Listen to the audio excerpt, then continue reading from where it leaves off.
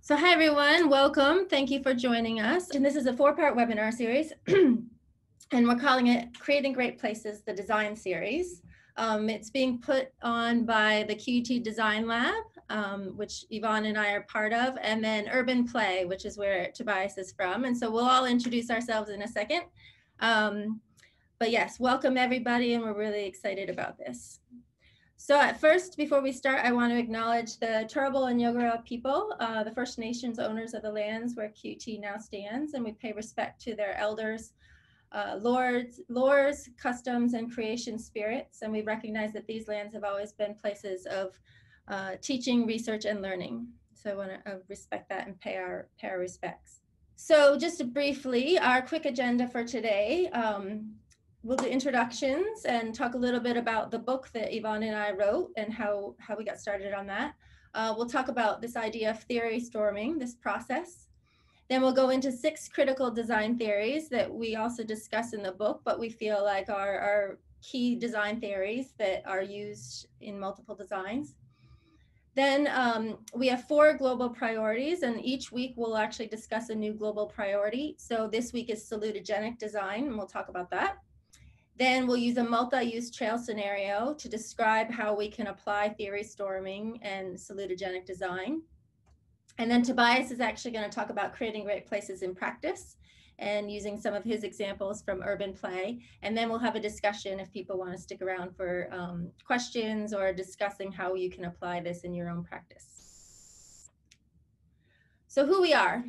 So I'm Deb Cushing. I'm the discipline leader for spatial design um, at QUT, which includes landscape architecture, architecture, and interior architecture. And my background is actually landscape architecture. I did a little practice, um, both in design and in community planning.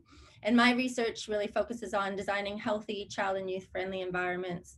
Um, currently, I'm working in you know community parks, suburban parks, um, physical activity and different ways we can get people more active and more healthy in the environment. So, and then my colleague Evonne. Hi, I'm Evonne Miller. Um, I'm Professor of Design Psychology and Director of the QT Design Lab. My background's more psychology, so people and their use and interactions with places and spaces. And I really focus on how we can design age-friendly places and also create, I guess, exciting environments that encourage people to, to to get active and to be outdoors more. And it's a whole lot of biophilic design, which we'll talk about. Great.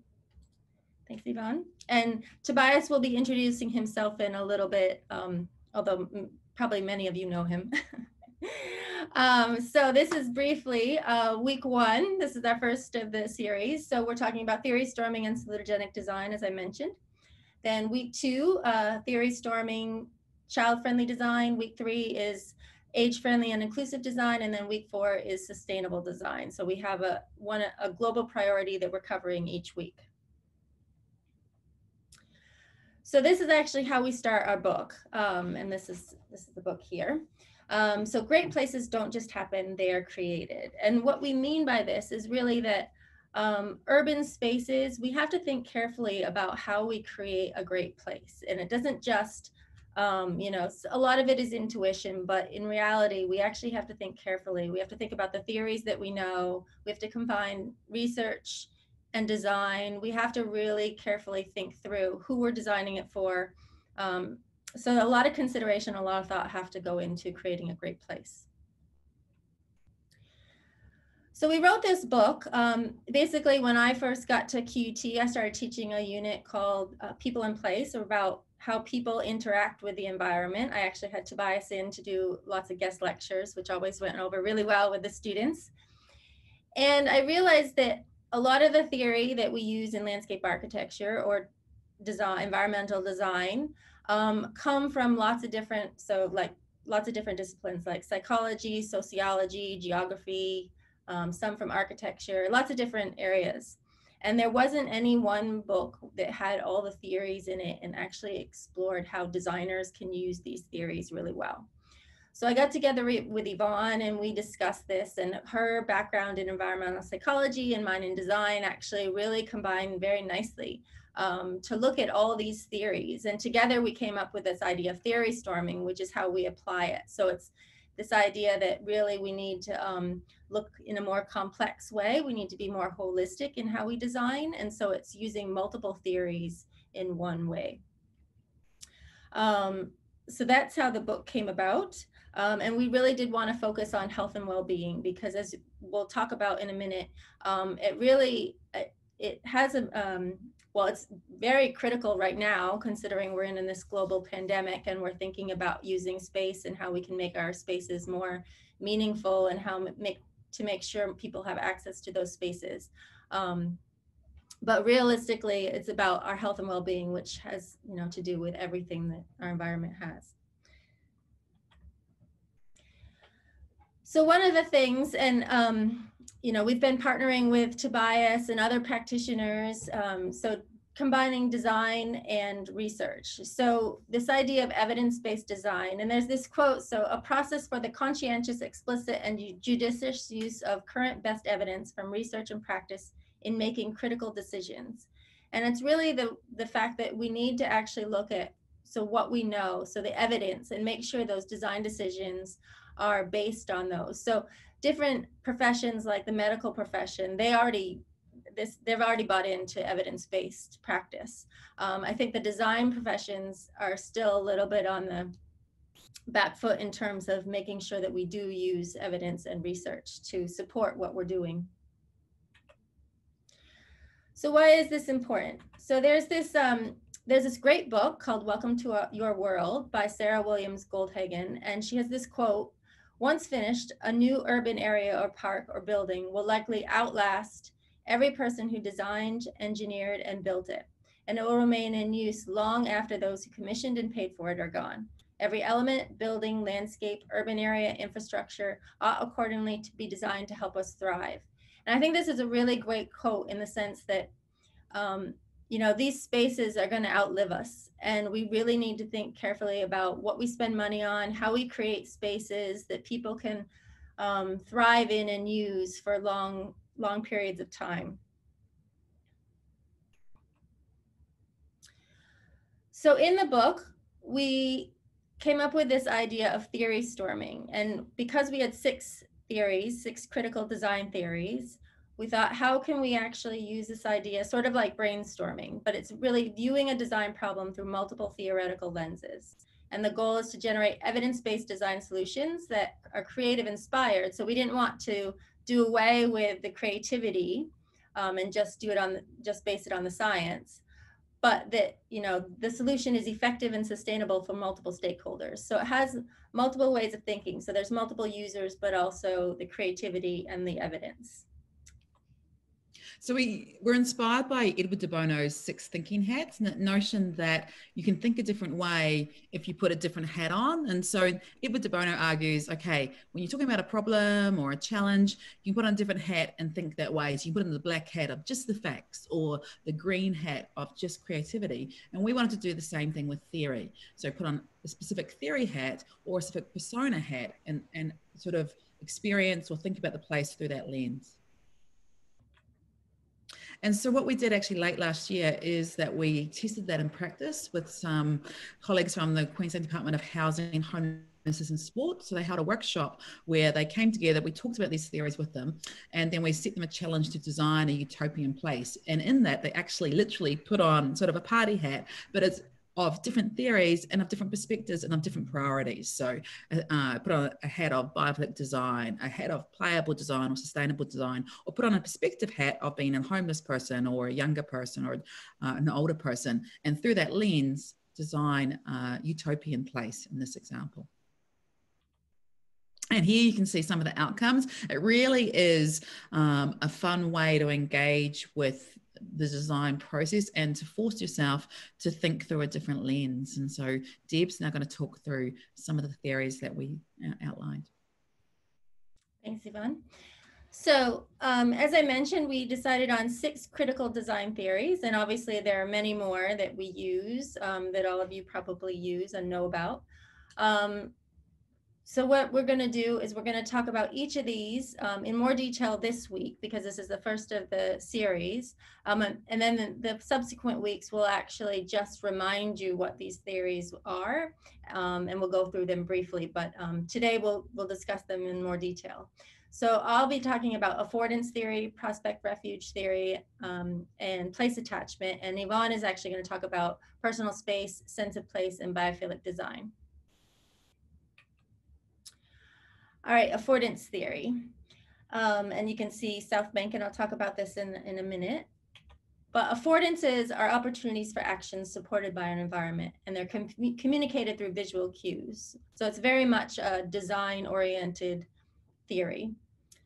They're also perceived by different users in different ways. So these cues are often determined by the surfaces, objects, and layout of the space.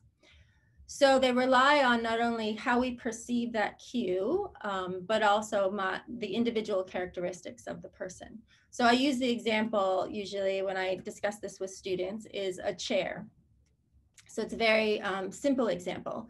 So a chair is designed in a certain way that it, I see it as an adult and I automatically know that I can sit in it. Um, depending on the materials, depending on um, kind of how the, the size or the, the height, I know that I can sit in it, but I could also probably use it as a step stool. So that's an affordance. That's an opportunity for an action. I could also hang my coat on it if it's, you know, if there's a, um, a solid or firm back. Um, but that depends on the material. So if it's a like a recliner chair, I might not be able to do that. So, but a child would actually see that chair and might perceive something different. So they might perceive other opportunities depending on the cues. So they might be able to climb under it. They might be able to use it as a table, things that as an adult, I probably wouldn't do. So that's what affordance theory is. It talks about those opportunities for actions and those cues that we design into a space. So here's an affordance for crossing a Sydney street in a, in a safe way. And the cue is actually just that little look left on the painted on the or painted, painted on the pavement. Um, so that's the cue to tell me which way to actually safely cross the street. So the affordance is actually crossing the street. Um, and then there's the cue there. So some of you, if you're um, designers, uh, you probably are familiar with designer uh, desire lines. And this is a picture from Central Park in New York City. And it's an example of when an affordance is actually not provided. So, um, so basically the steps going up this hill, they take you up to this point.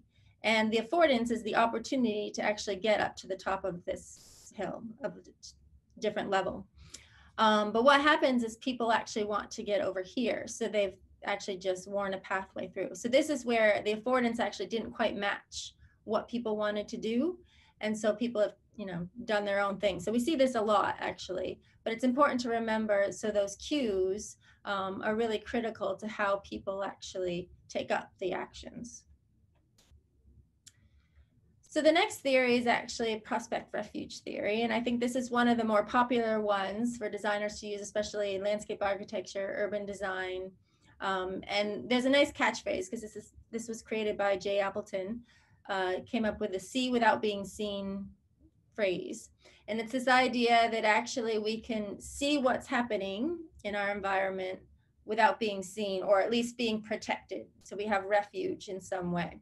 So this is an example of um, a viewing platform at the High Line in New York City again. And um, if you're sitting here in so this amphitheater area. You actually have a view out onto the street down below, but you're protected because you're up high, so you're not in the line of traffic. Um, this actually goes back to sort of when we were hunter gatherers in some sense. And so we actually needed to see what was happening so we could actually understand where um, kind of the prey might be, where we might need to actually do some hunting, um, but we would be protected so we wouldn't be eaten ourselves. Um, obviously this has other implications in the urban environment, but um, so this is the idea. And it could be protection. It doesn't have to be protection from danger. It could actually be protection from um, weather, inclement weather. And I'll show an example of that.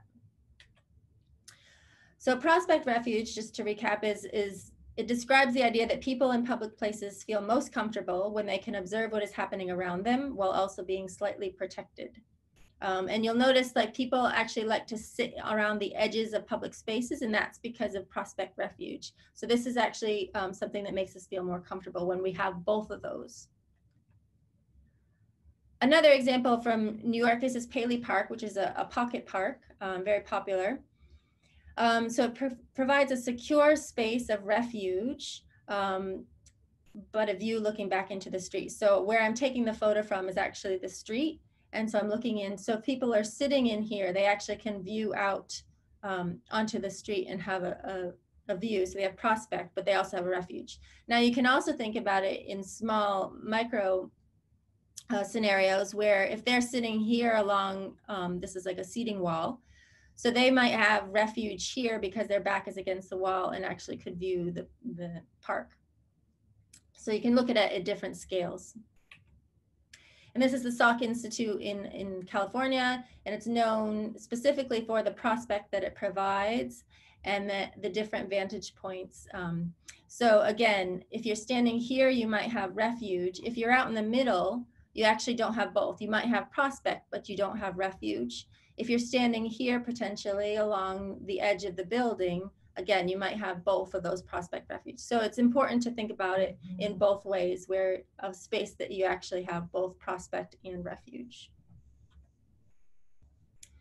And then finally, place attachment. Um, so place attachment actually explains why people develop emotional bonds with specific places, often treasured landscapes from their childhood because we have emotional attachments to people and the activities that we do. So using that knowledge during the design process can aid in the creation of better places that people will use and enjoy, take ownership of, and thrive in. And there's research to say if people have place attachment, they're more likely to care for an environment or to um, do action to protect it. So those we do actually want people to develop attachments to place. So one example in different urban situations is ethnic enclaves, especially in large cities where actually there's Little Italy, Little Havana, Chinatown, places like that. So um, people have deep attachments to places that they came from, their origins, and so they actually bring um, cultural symbols and things like that, practices, and they actually bring it to where they are now, and it shows that deep attachment to other places. Another example is um, and research shows that people develop attachments to places when they actually can change them or they can participate in decision making or they can have some say in what something looks like. So this, these are examples of International Parking Day, which you may all be familiar with, where people can actually take over a parking spot and make it into a small parklet. So again, people develop attachments to that singular space because they've actually created it themselves. Now I'm going to hand over to Evonne, who's going to talk about a few other theories. So I'm going to start with personal space theory. Um, and I, it's funny, you know, with COVID-19, I'm pretty sure we're all much more aware of personal space than we ever have been ever before. So personal space theory, also known as proxemics, uh, next slide, Deb, um, the physical space surrounding their body. It's the language of space and it's a need to keep a certain physical distance from others. Each of us carries an invisible personal space bubble around us, and this helps us negotiate space. And this instinctive kind of invisible protective zone explains why we tend to feel uncomfortable uh, when strangers sit next to us, you know, on an airplane or public transportation, and why we tend to sit closer to good friends than, say, our boss. And our personal space boundaries really differ according to culture, personality, and gender. And Edward Hall, many years ago now, was the first to talk about how we manage this. And in this, um, in this slide here in this graphic, you can see kind of the domains or the zones of personal space from intimate distance and personal distance. So we can be close, you know, with our friends and our family and our children and loved ones, and then social distance. And we also, the bottom graphic shows how we protect our personal space. If we're a man, the whole man spreading things sometimes, and she bagging. So that's a woman using her handbags to steal a little bit extra space on public transports or on seats. And next slide. Uh, so here you see some photographs uh, of seats, outdoor seats. So there's some in snowy Helsinki. You can see they kind of uh, space apart a little bit to give people a bit more personal space. We've got a round uh, outdoor seating in Hong Kong that people um, ability to sit where they want, but apart and not look straight at each other. So again, maintaining some personal space boundaries from from strangers. And in the bottom example is actually from United Kingdom. It's called the Friendly Bench, and they've just started sort of popping up all over the place. And they're designed for people to, if you want to actually have a conversation with somebody, you actually go sit there. There's some uh, vegetation sort of behind you to give you that little bit of refuge, um, and it's just a space to tell people, hey, yeah, come sit here on these seats and have a conversation. Yep, next slide. Ooh.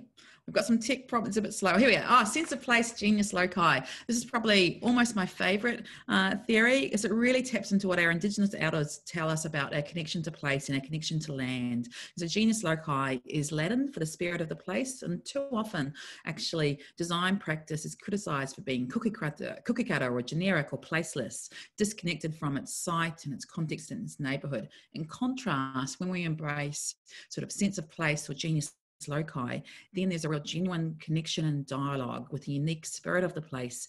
Um, and we see that in its distinct history, its environment, its climate, its topography, traditions, and cultures. And we actually see this in this picture. So this is from, uh, it's the Zalige Bridge in the Netherlands from Next Architects. It's a wonderful, uh, a wonderful, a wonderful design. So you can see when the river floods, this, these stepping stones become uh, like a bridge that people can walk across. But when the river's not flooded, they are just a seating place. Next. And a really well-known example is uh, where are we? Oh, I talked through that. Sorry, next step. Uh, a really, really well-known example is Gasworks uh, Park in Seattle, where Richard Haag actually decided to keep uh, these kind of industrial remnants and, and celebrate uh, their heritage and made it a feature of a site rather than hiding it away. Next. And so we have also in this next slide some images of, I guess, different aspects that have, that different designs that have responded differently loci, the unique sense of place. In the middle, a photo Deb took of on the Gold Coast of some uh, surfboard seats. At the top is Oslo's uh, Opera House. Uh, it's like a glacier coming out of and connected to uh, the water around. And the bottom is actually that um, the same picture as we saw before of the Zalige Bridge, but this time when it's not flooded. So you can see that what what what, what is stepping stones, you know, during a flood is actually just seats and, and markers the rest of the year. Next.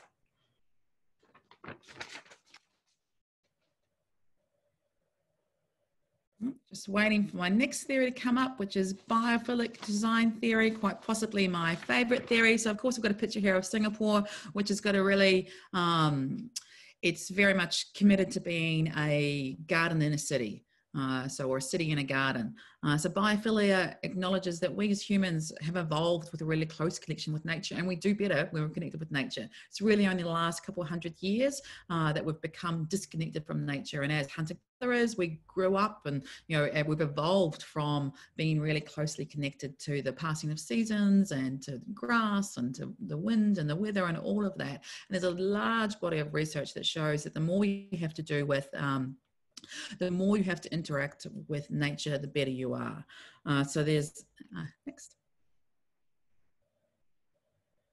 So we have this deep-seated connection you to be connected with nature, and you can see some examples here: uh, Singapore, but also uh, biophilic urban renewal in downtown Seoul, where they turned what was previously a highway into a wonderful stream and place. And there's a number of great studies that show benefit of biophilia or connection to nature. Little things from, actually, not even a little thing, actually. We know that the more trees there are, the less crime there is. Um, and if you're exposed to greenery and trees and you walk around a little bit, you're actually, the neural pathways in your, in your, in your brain that are linked to depression are reduced. So there's a lot of great data that shows the benefits of green spaces. And so we really need to embrace and to advocate for much more environments and designs that link us to you know, outdoors and to nature and to animals. Next.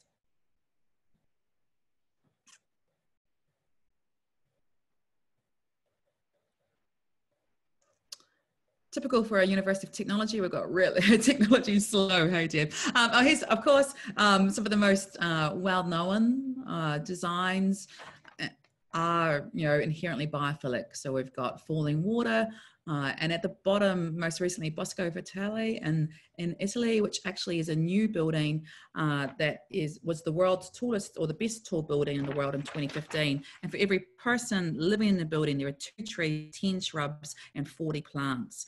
And it's really um, shown how often the best practice now of contemporary architecture is radically biophilic. Um, and and if we can engage in this sort of immersive sensory approach, that's the way to really design wonderfully great places.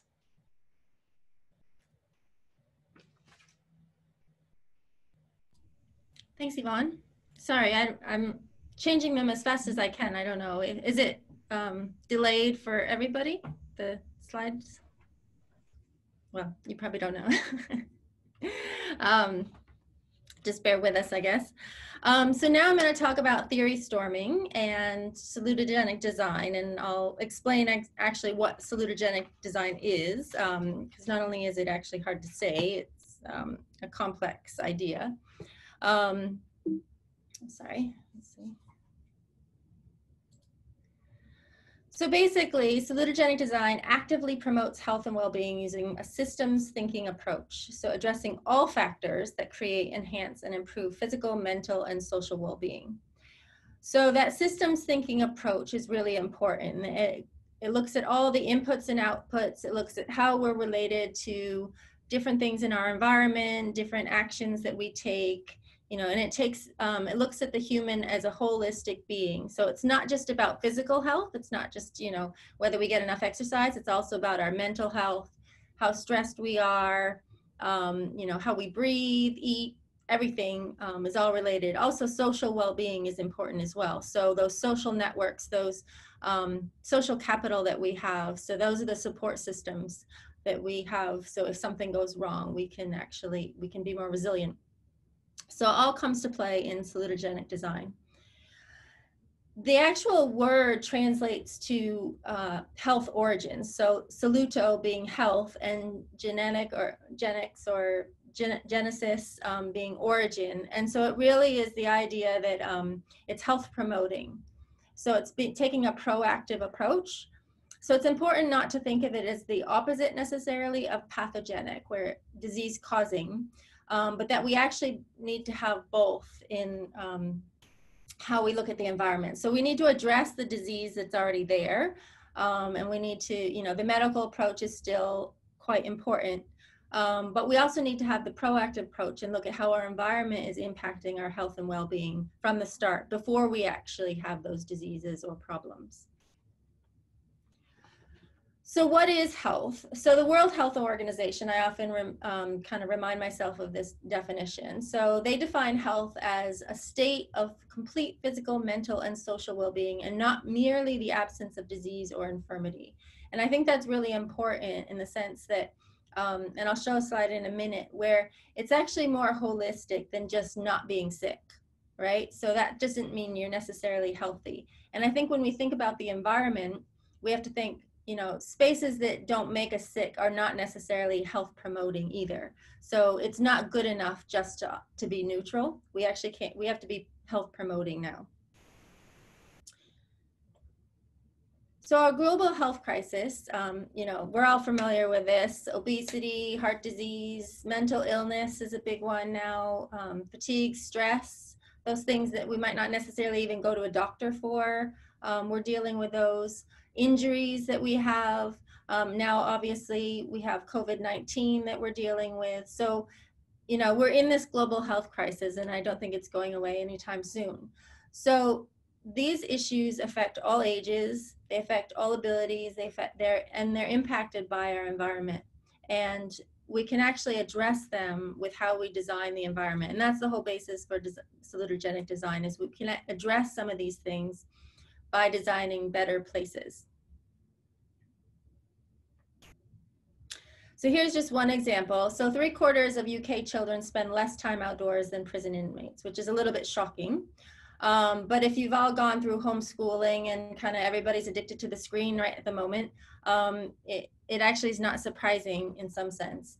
Um, so how can we do this better? So it's not just a matter of making kids go outside. It's designing places that are conducive to being outside, that are safe, they're healthy, um, they're exciting, they're places people actually want to be. Um, so it's it's actually looking at it more holistically. So I think, you know, this idea that doctors actually prescribe um, green prescriptions now um, to get people outside to be active. And that's really critical and important, but we really need to design the environments that enable those things to happen. So thinking about the affordances, thinking about other factors that how can we make sure our environment enables these things to happen?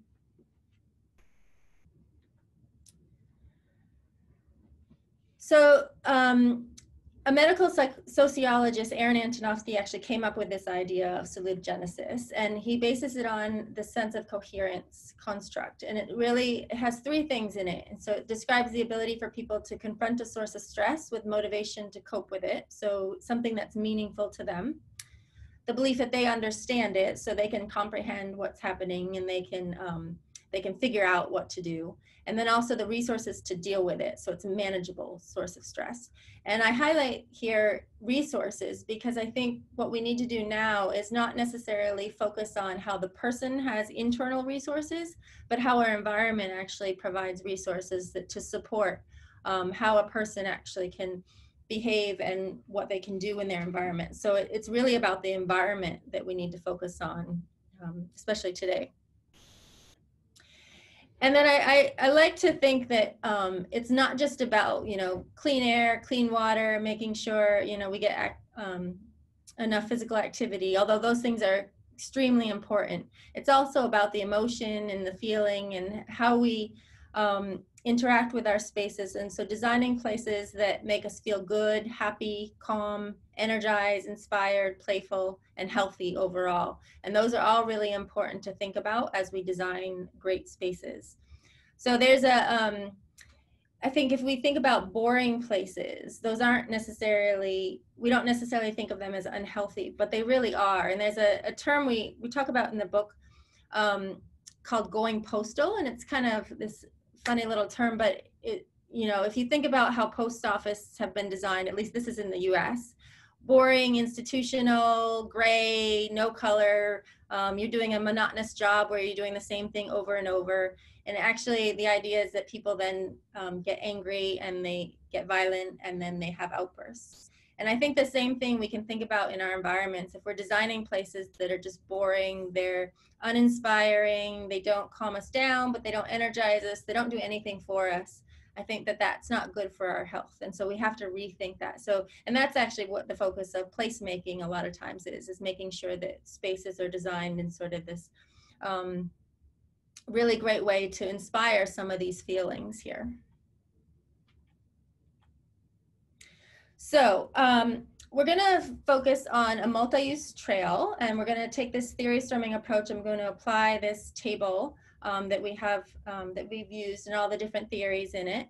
And the reason we've chosen a multi-use trail is that is a very, um, we think of that as being a very healthy environmental facility um, or infrastructure where, um, and it doesn't have to be a long trail system or anything. It could be a sidewalk, it could be um, you know, a pathway, but multi-use in the sense of different um, different activities can happen on it. So biking, scooting, um, you can push a wheelchair, you can walk, you can run, different kinds of things. So we'll go through that. So here's the table. Um, this is sort of the theory storming approach is that you would actually take each of these six theories. And again, as I mentioned, there's other theories. So you might put different theories in here, or you might swap out some. And that you can look at actually how it would um, result in a different design solution. So I won't go through all of them in, in the sense of time. But we can think about affordance theory. So that's about the opportunities for action and the visual cues or the cues that we have based on, that we notice based on our personal characteristics. So you think about clear signage, um, so we can find our way, or having a appropriate width or surface material so that we know which activities we can actually do on the trail. So obviously if you have a gravel or dirt pathway, it might not be conducive to certain activities. Um, things like rest stops. So somebody who um, may have a mobility issue or may be older, um, they might not be able to go as far. So they might see, you know, oh, there's there's no rest stops you know every certain distance and they not, might not feel that they could actually do that activity in that um, space.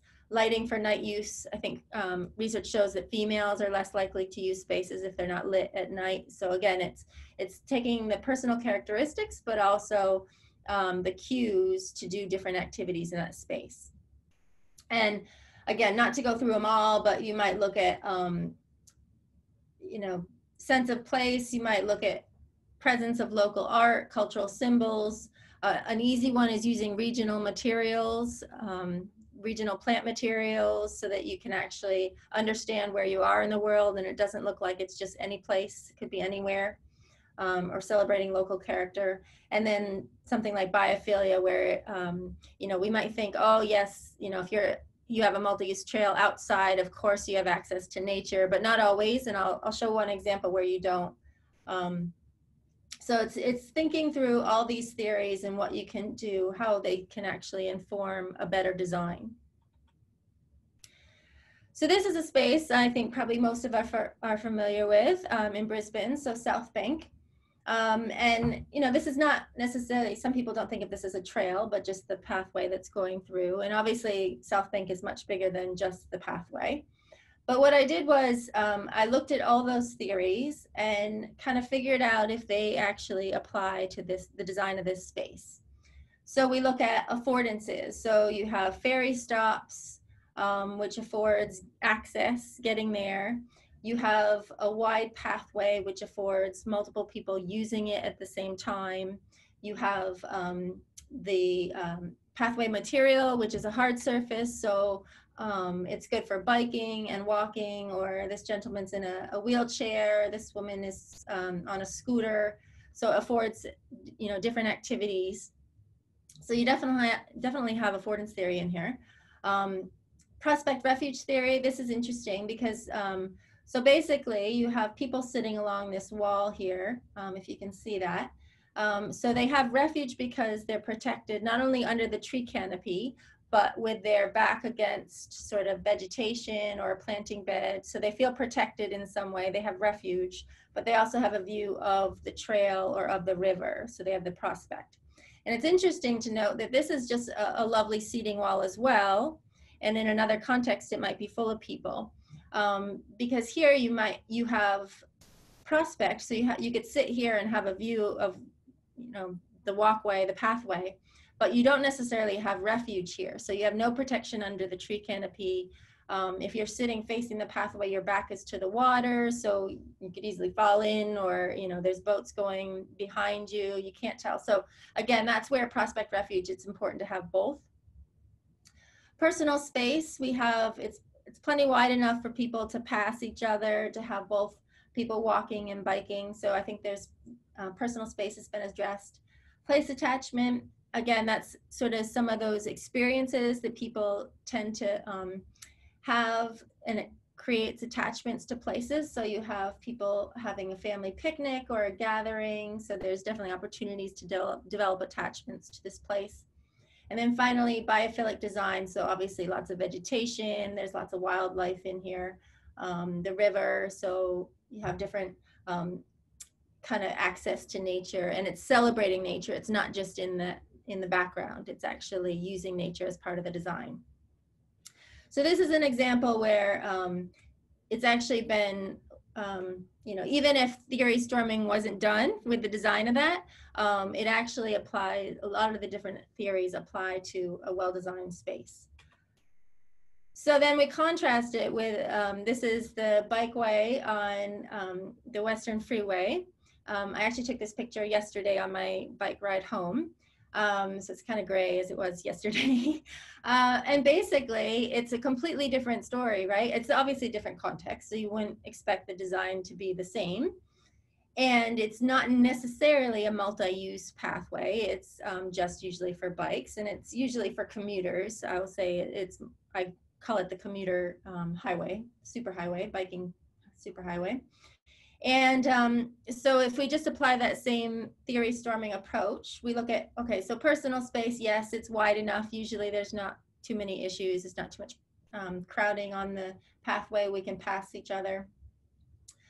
Affordances, yes, but it's very limited. So, um, you know, there's really only one use. So, and it's it's usually i wouldn't say high speed but you know there's people going fast along so every time i see a child who's kind of struggling on this pathway with their parents um, just learning how to ride a bike um, i sometimes cringe because i think oh i hope yeah i hope there's no issues but again affordances are limited. Uh, we have prospect refuge theory i think maybe if you could sense that you know you're protected up here this is a raised pathway and then you actually get a view out onto the the freeway maybe a view onto this is mount Coot-tha here. Um, but again it's not it's not anything celebrated and it's very limited. But then if you think about sense of place this could be anywhere at all. Like there's no design qualities that tell me this is in brisbane. Um, place attachment um, there's nothing that actually would would sort of other than the fact that I use it daily and that's that is one thing that helps develop place attachment. Um, I don't think there's anything that would get people attached to this place. And then biophilic design, again, you might have a view of Mount Coot-tha, but really it's not celebrated. Um, I mean, sometimes a flock of um, cockatoos might come down so that there's nature around you, but really um, this looks pretty bland and um, yeah, I'm very thankful it's there, but I think it could be designed better. Um, so that's a, again an example of how we would use theory storming and how we would use these theories to really inform designing better places. Um, and so just a teaser here, um, Evonne and I are actually working on our next book called uh, Redesigning the Unremarkable. And it's actually to look at places like this. So if anyone has any photos, um, please contact us of um, places that actually need to be redesigned because we're going to kind of um, look at how theory can inform better designs. All right, so now I've talked enough. Um, so I am going to hand it over to Tobias, who's going to talk about creating great places in practice, and he's going to give us some great examples. So I will hand it over to him. So I will stop sharing, Tobias, and awesome. Let you share your screen. Thanks, Deb. Thanks, Evonne. So great to be part of this um, webinar series. And let's just see how this works. And yeah, really excited to be part of this. And that was fantastic. I still remember when you gave me the book, Deb. And I have to say, there's a lot of like, I guess, theory books out there, but to actually take this book home and read it in one afternoon, it got really inspired and it's so practical use as well. So just a great reminder of what we are doing as a landscape architect every day, but then how we can reflect on the designs that we have done and then how we can communicate it back to our clients as well and really give some evidence behind it and what the thought processes were. So I think before I go into showing one of our examples of creating a great place, I just give a little introduction, who I am and who I work for. So most of you, or a lot of you maybe know me, but yeah, I'm Tobias Volbert. As you can hear, I'm not an Aussie. Still try to say she be alright, mate, but um, struggling. But I'm a landscape architect from Germany. Came 13 years ago for a holiday, never left. I'm really passionate about sustainability, permaculture, and I guess really creating healthy designs. My wife is an occupational therapist, so she always challenged me on this idea of inclusive design and healthy design. That's where I started in 2013 the Seven Senses Foundation, really to provoke thoughts about inclusive design that goes beyond accessibility, beyond just designing spaces that are accessible for wheelchair, but not looking at all the challenges you mentioned before there as well, Deb, about sensory processing disorder, mental health, etc. And um, now I work for Urban Play. So Urban Play mission is again to build playgrounds that are destinations, the lifeblood of the park. It's really about, as you said as well, when we design salutogenic places and, and play environments, they need to be a destination. They need to actually capture the imagination. They need to have cues that actually make you I want to be active in here and I want to connect with other people within that space and I want to stay longer. And I think the other thing we're doing at the moment with QUT is this research on intergenerational playgrounds. And again, it shows like the more people we can capture in the space, the more vibe we create and the more healthy activities actually happen in that space. So that's what we are really passionate about at Urban Play. So we are a design and construct company that um, do play environments. We do everything from the play equipment to the shade to the rubber, etc. So pretty excited and doing a lot of like bespoke elements that are fully, truly playable as well. So the thing about salutogenic design, which I found really, really inspiring, and that's a great term that, as you said, by Aaron Antonovsky in my birth year, 1979, uh, was formed. And I think it's this whole idea, the seven senses was one thing, and then, yeah, we have the green streets movement, we have horticulture theory, we have biophilic design, urban forestry. There's a lot of amazing things, but they all happen in isolation. So as you mentioned, like salutogenic design is really about a system thinking approach, how all of these different thought provocations and, and theories all need to be combined. And that's why we need collaborations to create great places. It can't be just we as a landscape architect. So we really need to partner up with more the, the, the um, health professionals. I predicted that in 2013. I thought by now a lot of the bigger firms would have occupation therapists, psychologists within their businesses. It's still not happening, but we're getting better and better. And I think that's really the key thing. The more people we get involved, the more ownership and the better designs we can we can apply to this space. So as some of the facts you mentioned about like the increase, like one in 100 kids have now autism, one in 20 sensory processing disorder, um, 27% of Australian mental health issues. Obesity is another massive one. 41% of children daily intake comes from junk food. So when we look again, how do we create salutogenic parks that actually allow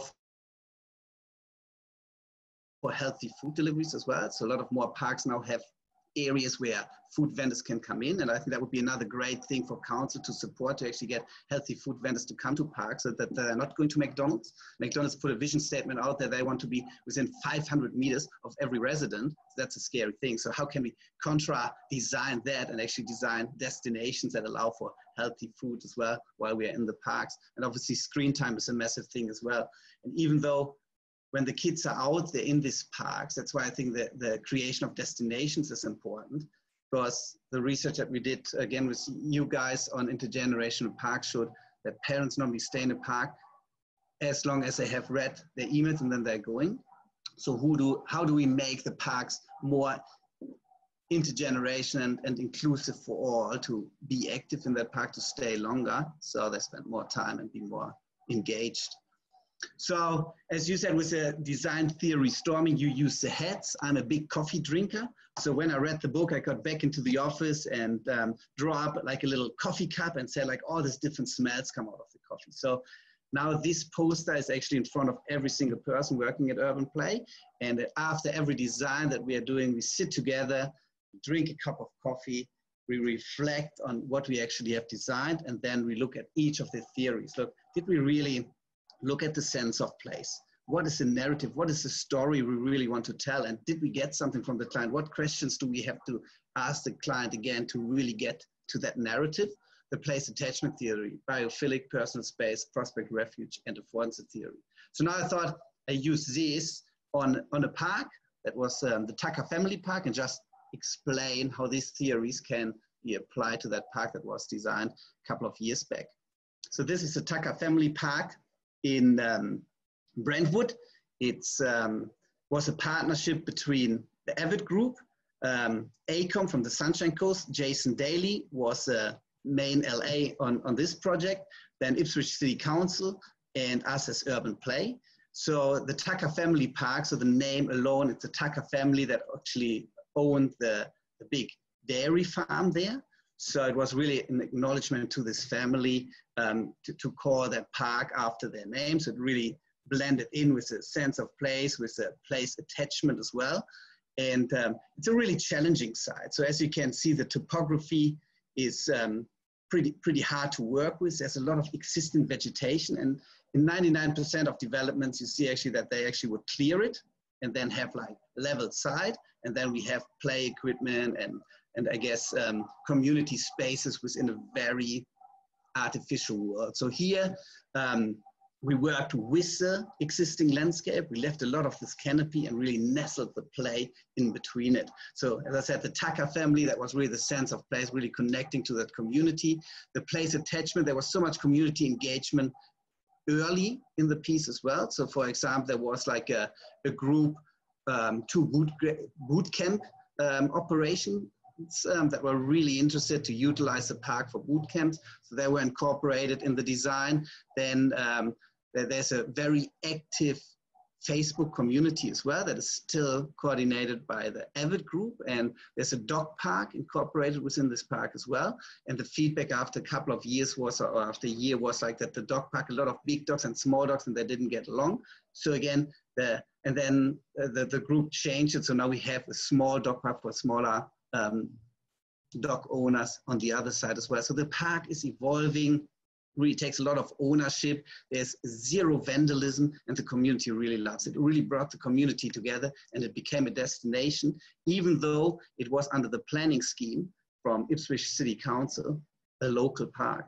So with a local park, there's a lot of challenges again. So we can't have barbecues in there. There's no toilet facilities, but because we were a little bit creative how we work with the planning scheme. We put two pocket parks together to really create something spectacular within that, I guess, um, planning challenge that, that we had to work with. So then when we look at the affordances theory, that is my favorite. I think every design we do as well, I look at every single object that we place into a playground to make sure it has more than the one affordance. As you said, with um, a chair, for example, that, but it could be like a sandstone sandstone boulder. So it becomes a seating element, but I can climb over it, I can jump on it, I can sit on the canopy on it, I can sit with two people over it. So every single element that we do needs to have multiple affordances. When we look at a macro scale, so that's what we do again to explain the design methodology on this one here. So the big green space in regards to play zones is the play zone on the upper level, and then we have a big um, um, sports hub at the lower, lower area of the park. And then we have a senior play and a junior play. And then we have a lot of different connectivities through the space. Here's a bit of a render that shows you the idea of a fitness community hub at the bottom. So again, that was inspired and, and I guess um, collaboratively designed with the bootcamp operators to really get a lot of use of it. And then a huge shelter area that can be used by the community to be part of this, but also this Muga. So it's like a sports field where you can play basketball, um, inline hockey, you can play soccer. So it has so many affordances and then a big oval as well to play your footy, get inspired to that. And then it's all connected to the playground that is nestled within the tree and playing in the canopy. So the other thing is then with the affordances theory as well, we always do a seven senses and a play variations overlay for our designs. So again, at a macro scale, so the, the best park designs, I believe, are the ones that provide choices for all. So it's about designing zones or play rooms. So in, in old times, a lot of times, especially with local parks, it was like one concrete curving, and then we have the swing set, a play unit, everything in one space. So if I come there with anxiety issues, and, and I look at this play space and it's busy with people, I will never go there. So it's not a place for me where I can find this prospect refuge where I can be safe but still be engaged with the space. So in here it was a zone of, of swinging. So you can be in, in the middle of the trees just by yourself or with a mate and just experience your vestibular stimulation and just look into the trees and just get inspired through here. And there is like a thrilling and climbing and sliding zone with a big tower that is a visual thing as well for the community. Come here, there's something exciting. It provides you with thrill and, and, and um, a, a, challenge. And then it actually steps down to the more um, junior play with a play hut that has a double of um, one area as well with a double slide, which I think again is a non-negotiable, needs to be in a park because a lot of kids with sensory processing disorders when they actually go onto a platform and they think about, oh, can I slide down or not? It, they sometimes need longer. So then another child could come and go like, come on, Joey, go down. Why are you not sliding down? And then they will never come back because they get intimidated. So if you have a double one, somebody can grab you by the hand, come down with you or pass you by. So just provides another safer space to engage in the zone. And then spin zone, the bouncing zone, and then again, more fitness engaging space. When we then look at this micro scale, as I mentioned, to look at every single element that was used within this park, does it have multiple affordances? For example, here the sandstone boulder that is actually part of what we did here. It's a nine meter high tower, and then we did a minus two meter negative slide. So it's an 18 meter slide coming down an embankment. So rather than rubberizing the entire embankment, we actually use just mulch, and it's a bit of a nature play experience in between the two spaces. And this boulder, for example, has the affordances that it holds uh, erosion, so it's an erosion control. It also provides um, seating opportunity, balancing, jumping, sitting on it, hanging out with two people, taking a stick and carving in it. That's why I love sandstone boulders as well as informal seatings. And that's what we need more in our parks as well. That's what we hear from a lot of parents, especially with younger kids. How do we get more seating opportunities and affordances within their park that they feel comfortable to be around their kids? The other thing, um, what I always look at is like when we do a playground, how does it have different play affordances in regards not just physical education, which again gets really much pushed within schools. So how do we make sure that each of the zones is social, emotional play, so where the kids can learn from each other, where they have to actually um, learn from different behavior and listen to each other and get this social connectivity. But then obviously the physical components are important, but then also the cognitive ones. So there spaces where we can engage with the discussion and how can we then make sure that the playground is not just a playground, becomes a therapy garden. It becomes like in the school environment, a part of the curriculum. So it's about um, storytelling and it's about developing. So it comes back to our three main things to create something that is a wow, so it attracts people. Wow, I need to come to this park to um, Tucker Family Park and spend some time there. And then while they're in this park, there's so many things to explore and engage with that they stay for a long time, and then that they can develop so they can challenge and uh, learn new things. And that's why I think this park has zero vandalism as well, because there's so many things where kids can challenging themselves and learn more skills within all these different zones. And from a biophilic design as well, like that all this green space was actually captured. And none of these trees were really like um, taken out. So there's a lot of like um, the, the, green lung going through the space as well. That was really inspiring. The other thing, what we found in the intergenerational um, park design um, research as well, was the importance of a pathway connection. So this pathway is actually part of a million dollar Ipswich citywide connection, but it's 2.2 meters, so it's wider. Um, so it gives a great affordability in regards to, again, what, what you mentioned at, at South Bank for riding, scooter riding, for wheelchair access, for, um, for walking, and then because it's meandering through the landscape, it has all these different pockets where you can sit back, observe, engage in the dog park, engage in the swinging zone, come off and have the spin, come through here, do a bit of sporting and come back. And then there's so many informal, I guess, um, secondary pathway connectivities through all the space, climbing up an embankment, going, down, going up the stairs, going around um, um, the, the accessible pathway, drilling back into the space. So it's, it's really important from, I guess, a personal space theory as well to have this wide pathway where you can keep distance as well, but then also have like little nooks where you can be engaged by yourself or with a friend or even with a bigger group in these areas through here. The next one then is like this prospect refuge. So again, if we would have everything in regards to play in one node here, this would be really hard to achieve. So this whole idea of like the meandering river and then you have pockets of play all the way through it is, is, is, key for that as well. So for example, here on the top of this nine meter tower, you're up there, you can actually see without being seen, but it's a safe environment up there. So you can be here in the spinner zone where you just by yourself, you actually engage with this zone or with a few people as well, but you are protected through this landscape around it as well. And you can see the part of this. The unit itself has a lot of different nooks as well, where you can be by yourself and be safe, or you can actually be out there and, and, and engage with a broader community. So I think the key thing again with this, like this design was obviously done before this book came out. And a lot of these affordances were obviously considered, showing you now the overlays of this design.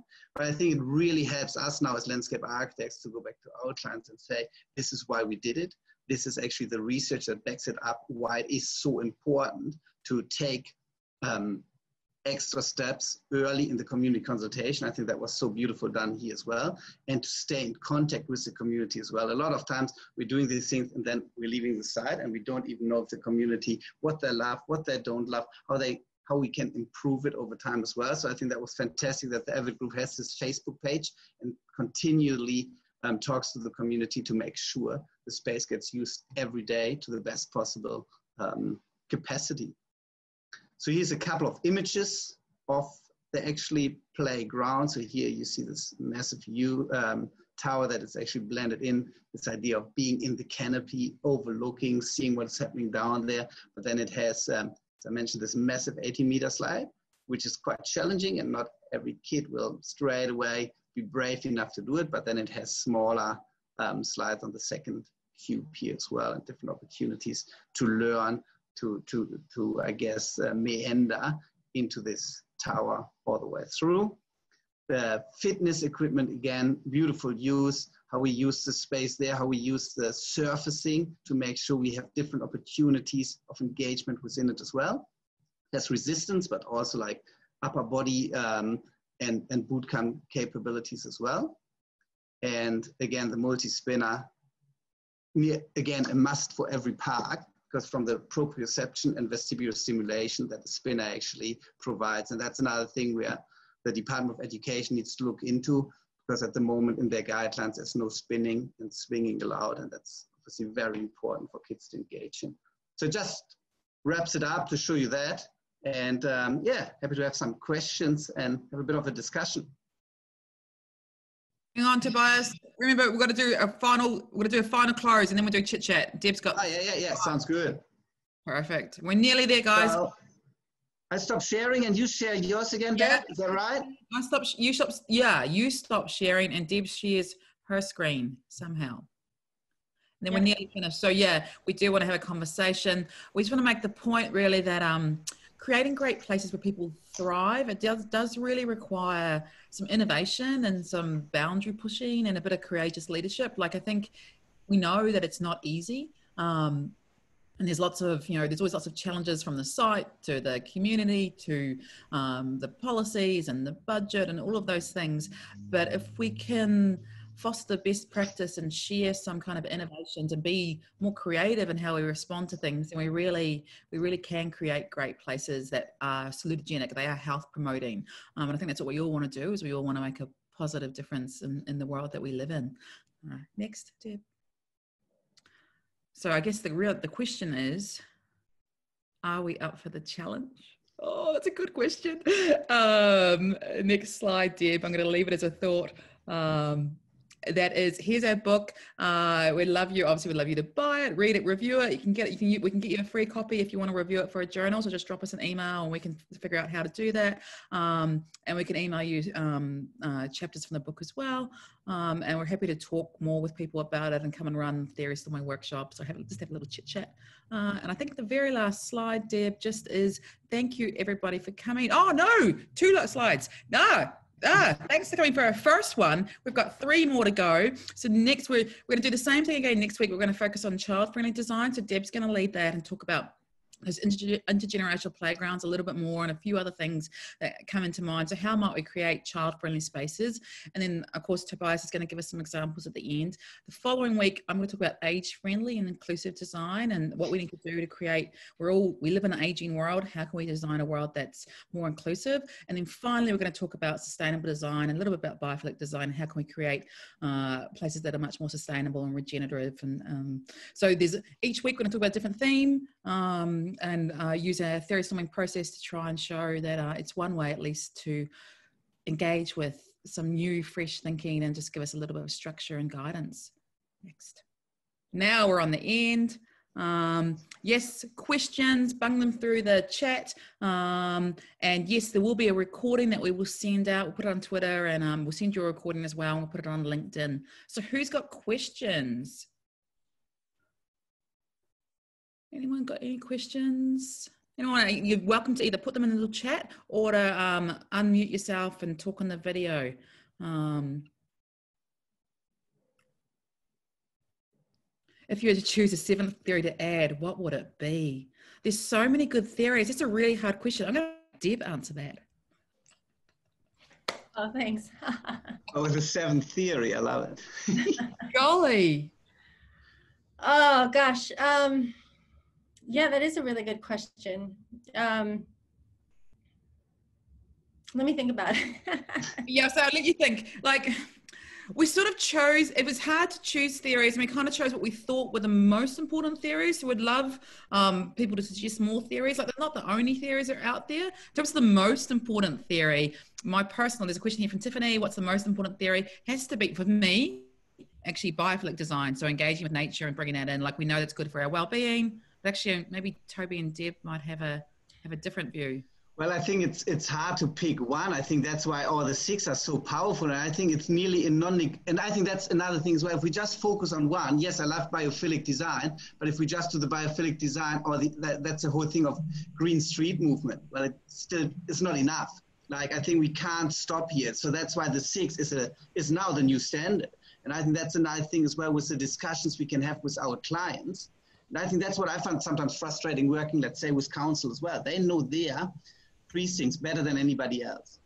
So and then sometimes we get briefs that are so generic, like it's always the same brief. And I think again to nearly give them this book and say, well, the sense of place is, is like that's where it all starts. So once we have the sense of place and we know the narrative and we know what we really want to engage with and the community that is part of that, then we can look at the biophilic design. Then we have to still make sure it's affordances. Like all these things, I think we can't leave one out. It's, I think that's not only what is the most important, they all are the same important and they all need to be system thinking, approaching together to create this beautiful world.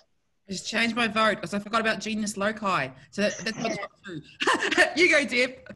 No, I, I actually agree. Um, I think probably my first would be genius loci as sort of like we're we're creating too many places that look like or designing too many spaces that look like they could be anywhere. And i think we're losing the value of you know all the unique characteristics of you know our environment and kind of where we are in the world. And i think that that's detrimental to how we appreciate our environment um, but i would say that affordance theory is probably one that i use most often because uh, in design i'm looking at how like it's the activity and, that, and that's just for me and my research. So i think probably affordance theory and and um, genius loci or sense of place would probably be the the two. But i would say that place attachment and Evonne and i actually talked about this when we were writing the book place attachment as a theory is a really difficult one to design for because we don't all even though we have research on why people develop a sense of place attachment you don't it doesn't automatically happen. And so and actually taking into account the attachments that people have to a certain place when you're designing and when you're changing things if you don't pay attention to that it actually can be detrimental to how people accept um, the design or the change or you know what happens and so it, it's a crucial one it's just a really difficult one to automatically figure out how to use it um, and i yeah. think it's it's probably more more the process than the actual design really on that one because i think that's that's what I, I find in, like in Germany the community consultation was so much different than it is here in Australia. Like a lot of times here we design and then it gets to a vote A or B, rather than really getting the community all the way engaged with that space. And I think then we find that more attachment is there, that we have less vandalism, that people actually taking more proud of that space. And, and I think another thing is for me always like um, great places always have this great vibe, but the vibe is actually coming from the people. So it's like really like how do we get the people there? And once there are people there, then the vibe comes, and that's what attracts more people. And then all the other things are sometimes not even so important because great vibe is not created by the best and most beautiful mosaic tiles. It's about the people that are in that space. So Yeah, yeah um, yeah, that friendly bench came up because you know schools have that bench. I've forgotten what it's called. It's an anti-bullying bench. Yeah. lonely seat. What's it called? You can sit on if you're feeling lonely. And sometimes I think we need to have those okay cues or affordances that actually, yeah, I am feeling a bit down. I'll happily have a conversation with somebody, or you know, just that kind of build those social networks, particularly in COVID times. Does anyone else want to pop up and just share their thoughts? Please just unmute yourself and get in there. We are just going to have a conversation for the next 15, 20 minutes until the time ends. And if you have to go, that's fine, but please share the words and come back next week. So we talk about child brain design. Okay, there was a question about ah, AR, VR, so augmented reality. Have we thought about augmented reality? I'm sorry, I'm just going to scroll up. There's so much chat, it's hard to see. Oh, here we are. Uh, have you ever investigated how a digital layer might apply, um, i.e., augmented reality? Um, oh, go ahead. No, you go. if I've got some thoughts. You go. Um, so actually, Tobias and I were we were on a project actually last year that ran. Um, we were working with a local school and um, looking at gaming and how um, the creation of an it was more about environmental education, but it was about how do we use sort of digital devices and sort of a a game, a augmented reality game, or a, um, yeah, um, to get kids interested in being out into the environment. So it was sort of using that technology to get kids to explore nature in a sensory way. So um, we had to stop obviously because COVID and the schools then and research in schools kind of got put on hold. But hopefully we do kind of get to still explore that. But I think it's an important question, um, especially now that um, screen time is becoming more and more uh, well increased um, and kind of figuring that out and how the digital layer and the physical layer can um, connect a little bit better. Yeah, I think that was, uh, as you said, like the idea with this gamification project was that you can take a photo of a space and nearly like by at IKEA, and then you grab different furniture that you rotate around. That was around the seven sense. But again, with this design theories, would be actually awesome to do an app around that, and then you can actually put a biophilic layer and try different things. So again, that's probably where the future is that we can then uh, implement some of these theory thinking into practice again through that could be another thing when you do your next book and also like a new app. You love it no i, I do love it because I think the broader community and the public doesn't don't really understand the process that comes into designing a park or a building or a walkway and don't understand the decision making. But imagine if you could actually have an app that said, "Oh, this is why we put this tree here, not just because of these reasons, because of shade and prospect refuge, and this is why we did that." So it could be a whole educational layer about the design process and the challenges and opportunities and choices. I think that's awesome. Absolutely. Here we go. Who's that? Someone said something. Who's there? No, it might be a baby, even better. Because there's another question about babies. Well, not quite. Uh, Silky has asked Would you think there's a difference in the way children connect with place to how adults experience place? You get that?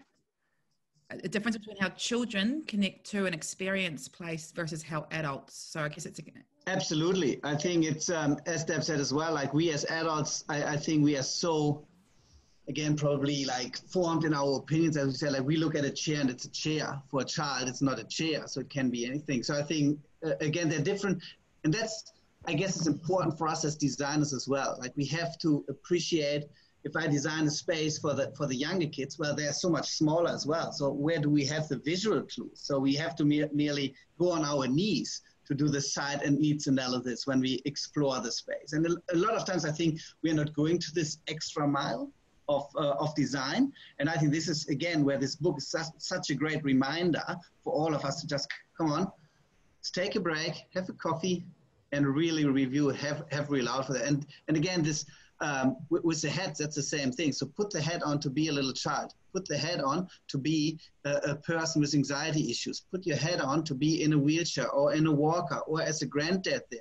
Or be, like again, when my kids were so young, was so hard to find a playground where I could be on a fitness thing where my kids were playing. So I had to be with them, or then, well, the one kid was already more advanced than the others. So because we design a lot here in silos, so our our park designs is like here's a little fenced off areas for the toddlers, then we walk half a K, and then there's something for the teenagers, then we walk half a K, there's a water park, and then we walk another half a K, there's a fitness. Mm-hmm. So it's, it's not integrated. So it's, yes, it's multiple, uh, multi-generational, but it's not intergenerational. I think that's, yeah, the park, when we look at that, yes, there's something for everybody, but they can't do it together and they can't learn from each other. I think that's another thing where I'm excited over the next three weeks. We talk obviously about that, but I'm coming from Germany. My family is in Germany. My wife's family's in Germany. So my kids don't have a lot of access to elderly people. So there's so much wisdom and, and, and, and learning from, from the older generation that it's hard for my kids to experience. So, and again, in parks, we don't allow that to happen because it's like all designed this way that an elderly person that is in a park without a child would never go to these areas because it would be, oh, what is um, this granddad doing there? Why is he in the, with the kids? That's a bit odd. And, and I think that's again where design needs to be so much better. And, um, and, and we're getting there, but this again is, is fantastic help to, to push the cases that we can go beyond what is done at the moment. I just wanted to say something, if I can. Deb, it was good to hear all the theories because I think as designers, we tend to do this without even thinking about all these components.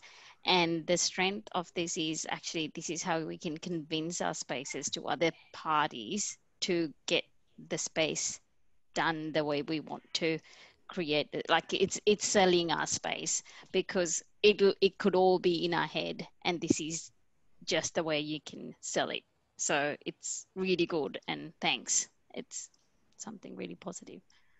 Oh, thanks so much. That's a great comment. And I think that's what we, one of the things we really tried to do. And I know Tobias often mentions like the evidence is really what's convincing.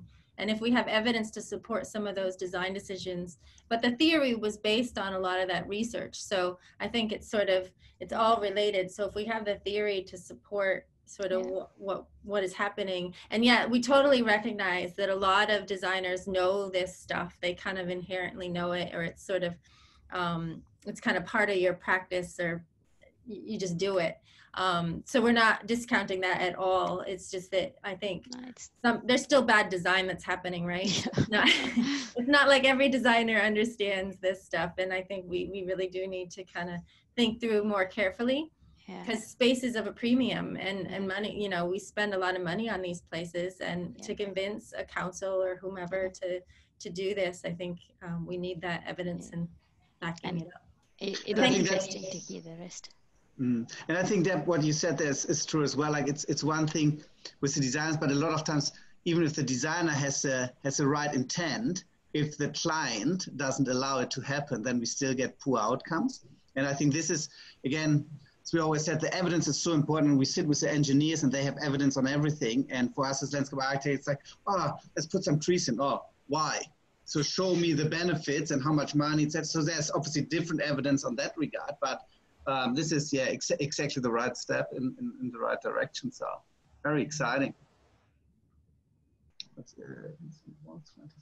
It's just a comment um, from Anna, which is a really good point that um, Queensland Walks would really like this mm. content here because it's a really great way to advocate for walk-friendly streets and green and shaded spaces and all ages play spaces, which is uh, super true.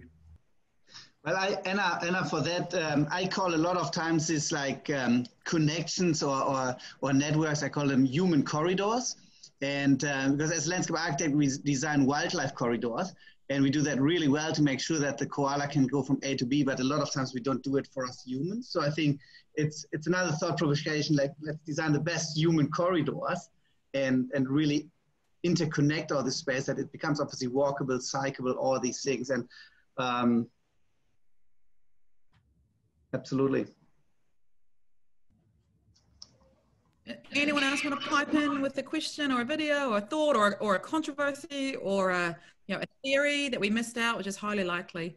Um, and I, maybe we could talk. So Deb and I are doing this. Yeah, this, we're doing this next book uh, about redesigning the unremarkable. So we really would love you to keep your eyes open uh, and photograph unremarkable spaces and places and products and just things out and about. Hang on, where are we? There's a question about AR.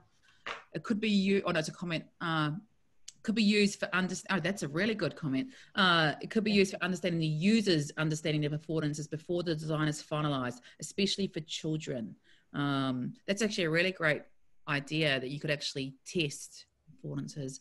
And then another another comment or thought. Do you guys want to comment on either of those? The second one is about the legacy of maintenance, also a challenge. I just wanted to say one thing as well. Like um, for one, as we said, it's great to to use the theories now to explain to our clients. But I think the next step is there, and I think that's again where the design industry is not doing it to the full extent. How do we actually explain what we have done to the general public?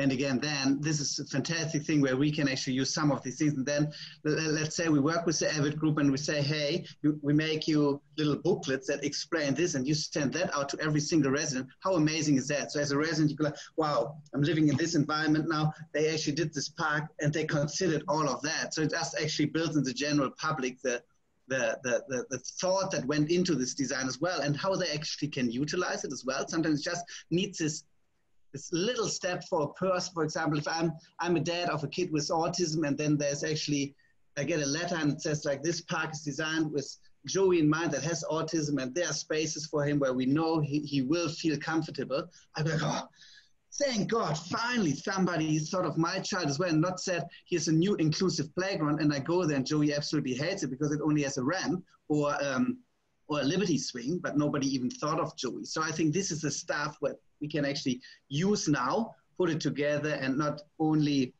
share between our peers and with our clients, but also with the general public. So I think that would be, and then they will request these things, and then we have really people power making the change because they all wanted that. Yeah, and just going to um, some of the comments on um, getting uh, like children's perceptions of the affordances. I think that's a, a really important and, and great idea and using different technologies to do so. I think especially because some affordances are learned or some some cues are actually learned so they're not not um, automatic. Um, and I think kind of knowing that. So one of the things I used to talk about with the class I taught was um, that if we can get away with using no signage, that would be ideal. We can't and that's okay.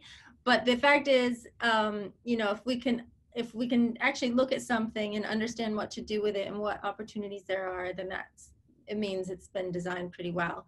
Um, but it's interesting to see how kids to observe how they use a space. And one of the things i like to do is when you travel to a foreign country especially especially with a completely different culture and as an adult you actually have to learn how you do things and what's the norm. And because there's all these social norms and things about how we've designed our space that are very um, different depending on where you are. And i think that's a good reminder for us that it's actually not always clear what how we use a space or what opportunities there are. And i think if we can do research and we can include more people in um, designing spaces actually at the front end to understand how they they perceive that space. I think that that would definitely add benefit to how we design and what we know about people using spaces. Or Barbara, or, or was it accidental? Anyone, we've got like, I don't know, four minutes. Has anyone got a question or a thought? Toby, Deb, anything that's in your head that you want to share? No, I'm just super excited. I think that's fantastic. Can't wait for next week to have further discussions. Yeah, so what it will be a little bit different next week. So we'll talk more about child to next week's child-friendly designs. We'll talk more about why that's important and and you know a little bit more of the background and some studies and things like that. And then we'll do some theory storming on that. And then the following week it's age-friendly, inclusive design, and the same kind of thing. A bit more background on the on this global priority and why it's important. Uh, and um, I'll just say that um, whoever asked the question about the if there was another theory, I'll have an answer for you next week. so definitely come back. I'm just my mind is just swimming with this week's presentation. So um, yeah. I know we, we did talk about other theories dear, but I can't think of any either. I'm just going to blame COVID brain. Like there's just going on. There's only so much cognitively you've got available, which is why we need to be in trees and nature, right? So yeah. we've got like three minutes. Um, we'll just wrap up. Shall we wrap up and say bye? Thank you, everyone. See you 1.30 next week. Please spread the word. Uh, we're on Twitter and LinkedIn. And um, yeah, we're totally keen to catch up offline as well. So that's our a thing, right? We do want to literally just have conversations and drink coffee and theory storm over some coffee or Project Storm. Awesome. See you guys. See Thank next you, everyone. Bye. Bye.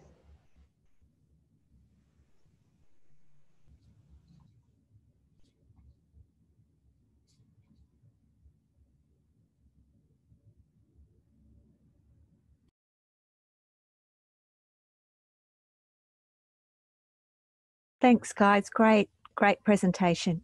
Oh, thank you. Thank you. And I'm so excited that you've used salutogenics. Oh. That's great. yeah, I'm glad to I- hear other people know about it.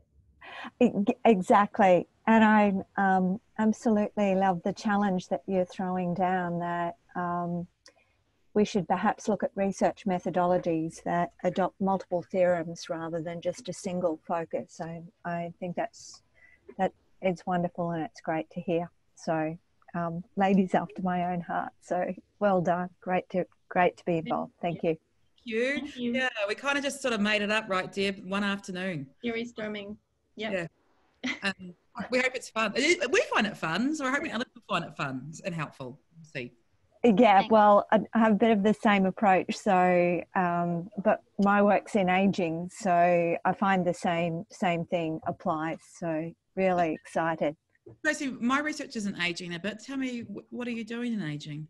Uh, um, my um, my my thesis research was um, around. Um, I don't know whether you're familiar with the UBRC model of um, university-based retirement communities and the whole idea of health models built around active aging um, and the importance of that um, of, of potentially Oh adjusting um, some of our learning environments to incorporate aging and, and stuff. So working with Bruce Judd and Yeah. a few others down in UNSW at the time.